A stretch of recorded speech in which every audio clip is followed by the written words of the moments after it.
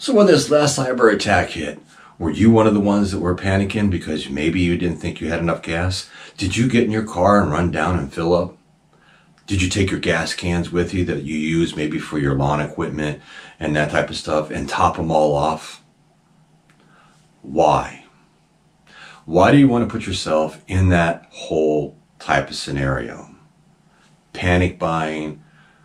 What makes that really a thing? Why do we do that? Why do we engage with the chaos? We're going to cover that coming up here shortly. So welcome back to Survival Preparedness for Beginners, where we thrive to survive.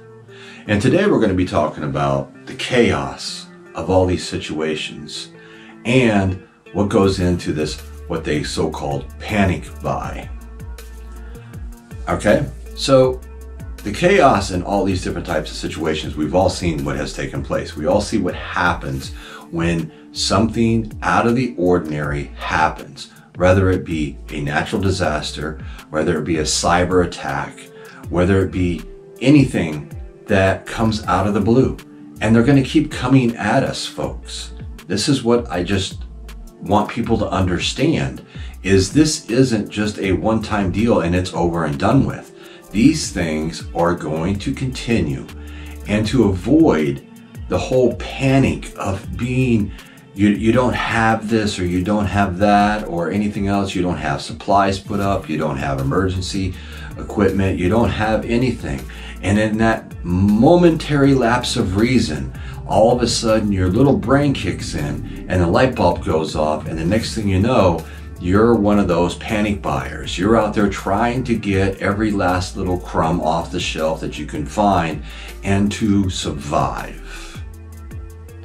Now, here on Survival Preparedness for Beginners, we're always talking about being prepared. We want to thrive to survive, correct people? So we want to make sure that we are doing as much as possible to make sure that we are ready for anything that comes down the pike, whether it's a cyber attack, a natural disaster, whatever it may be.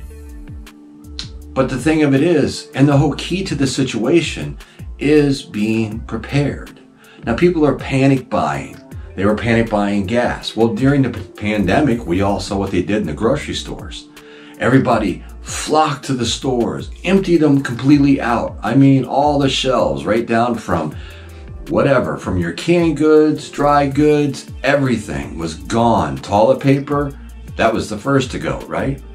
Everybody was panic buying. Everybody was just throwing anything that was left in the store in their carts.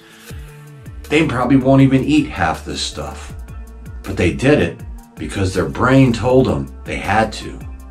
You see, our chemistry and everything else is prone to this whole panic type situation. When something happens, we can't control. And the next thing you know, you're second guessing yourself, wanting to know, do I have enough of this? Do I have enough of that? Do I have this supplies? Do I have this supplies? It's what happens all the time. And then you turn around and it happens with hurricanes. Every time a hurricane rolls into town, what's the first thing that goes? Generators. Everybody flocks to the store to buy a generator. Why don't you have one anyways? If you live in a hurricane prone area, you should have a generator.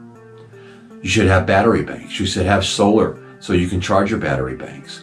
Because Lord knows how long, you know, you can run on which, how much gas you have stored up. You know, you can only store as much as you safely can store. It's not like you can have a thousand gallon tank in your backyard. And if you do, well, then you're one of the lucky few. But it all rolls back to that panic buying. But there's no reason for it as long as you're prepared and you're ready for any type of a situation. You know, panic buying, it helps um, people, ah, what's the word I want? Feel in control of a situation, okay? Because they feel when they're putting all this stuff in their carts and they, you know, they got all this stuff and sometimes most of it they're not even going to use, eat, or whatever else, or they don't even know how to use it or anything. It's a waste of money. And not to mention that most people, when they go into panic buy and everything else, they're throwing all this on their credit cards, which does no good for anybody except for put you in debt, which you don't want to do. You know, we have all this stuff that's going on. You have civil unrest, you have cyber attacks, we've had the pandemic, we've had, we're coming into hurricane season. We go through it every year. And the things are just going to keep rolling around and around, and they're not going to go away. They're only going to get worse as we go in time.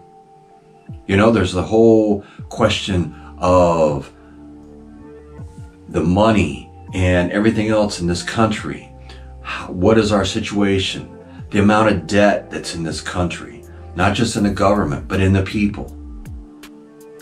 So if you can pay off your some of your bills and stuff and, and get out from underneath that, that'd be a big relief off of you. You just don't know what is going to happen. Now, I'm not saying you have to get rid of all your credit cards and everything else, but if you can live a debt-free life, it'll be a lot easier for you in the long run. And as a prepper, that should be part of your prepping. See, you just don't prep just for your food, water, supplies, and everything else. You have to prep mentally to be able to deal with the situation when the situation arises and comes along. In this way here, you will be prepared you will not be part of the chaos. You won't be the ones that are panic buying in the stores. You won't be running around and trying to grab those last minute items and everything else. You will not be putting or subjecting your family to a situation of that magnitude. Because in the end, you want to avoid those, those types of situations and you want to avoid things that are going on. So I'm Survival Preparedness for Beginners, and I want everybody out there to thrive to survive. And until next time, everybody just keep prepping, keep doing what you're doing, because we all can make it through any storm together. And we all can learn something from each other. So until then, I'll catch all of you on the flip side.